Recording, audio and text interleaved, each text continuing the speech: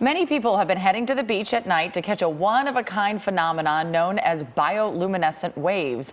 Jessica Roame, the Education and Communications Manager for Newport Whales and Newport Beach, joins us now.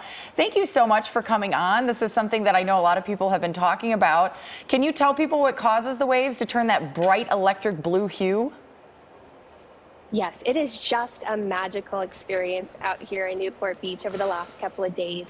Bioluminescence is actually a fascinating phenomenon. It's just a chemical reaction in the bodies of these living plankton. So we see phytoplankton blooming like this in the summertime when we have really warm ocean temperatures, nice long sunny days, and a high concentration of nutrients in the ocean.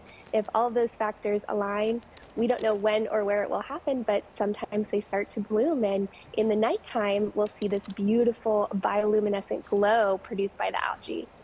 Well, I know too, um, when people go out, people have just been flocking because not only is this beautiful, but as we're seeing in this video, you see a lot of dolphins and fish swimming in it. Can you tell people about the experience? And I know it can be kind of hard to predict, but where are some of the best locations for people to pick it up right now? We've seen a lot of recent bioluminescence anywhere between Laguna Beach and Newport Beach. Last night, it wasn't very luminescent near the coastline, but on our boats, which we are actually running our very first ever bioluminescent cruises this week, all the way through Friday, you can get on a boat and out into the ocean to see it. A lot of it was concentrated about three miles offshore last night, and anything that agitates the plankton will make it glow, including our boats, dolphins swimming through it, fish swimming through it. We had a lot of activity last night, lots of beautiful, bright glowing. I love when we can irritate something and it actually makes it prettier. right? And yeah. I think it's so amazing, right? Because we are, it's magical, it's otherworldly, and it's making people appreciate our oceans, which I think yes. is such a great thing. Well, and it, makes you more present. I, I, know that if people do want to check this out too, they should check with their aquariums, their maritime institutes.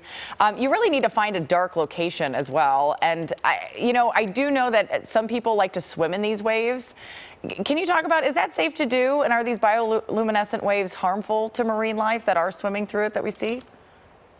It definitely can be. It's assumed that this kind of plankton is called L. polyedra, which can be toxic to marine species.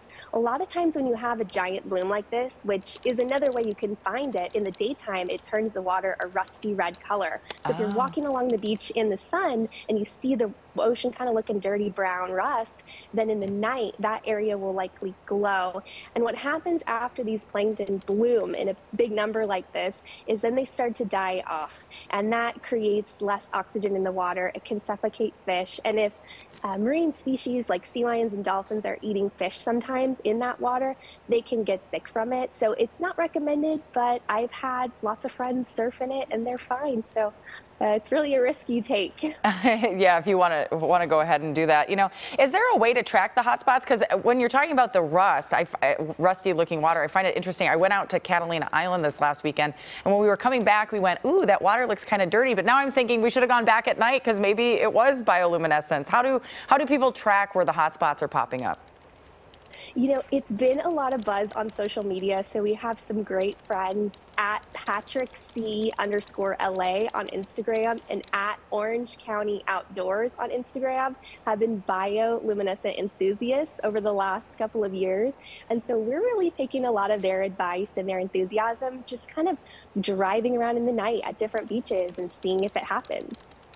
Awesome. Jessica Roame, thank you so much for joining us and bringing us this phenomenon. I, am sure a lot of people over the next few days are going to want to check it out. So thank you.